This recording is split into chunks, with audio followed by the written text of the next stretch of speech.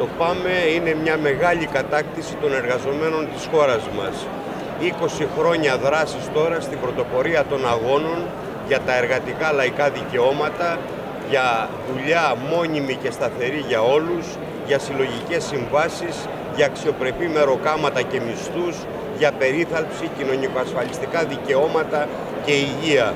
Βρίσκεται στην πρωτοπορία του αγώνα ενάντια στην εργοδοτική και κρατική τρομοκρατία, ενάντια στη συνδικαλιστική γραφειοκρατία και σε όλη αυτή τη συνδικαλιστική μαφία που έχει κατσικωθεί στη ΓΕΣΕΕ υπηρετώντας τη μεγάλη εργοδοσία και όχι τα συμφέροντα των εργαζομένων. Το ΠΑΜΕ βρίσκεται παντού μπροστά σε αυτό τον αγώνα.